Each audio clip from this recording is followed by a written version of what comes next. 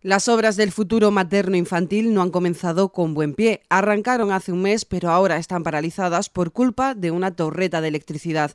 Al menos así lo han explicado desde la Junta de Andalucía, desde donde detallan que se le había pedido a Endesa suministro eléctrico para poder trabajar y para las futuras instalaciones sanitarias. Pero desde la empresa alegaron que necesitaban acometer unas obras para incrementar la potencia que tienen actualmente.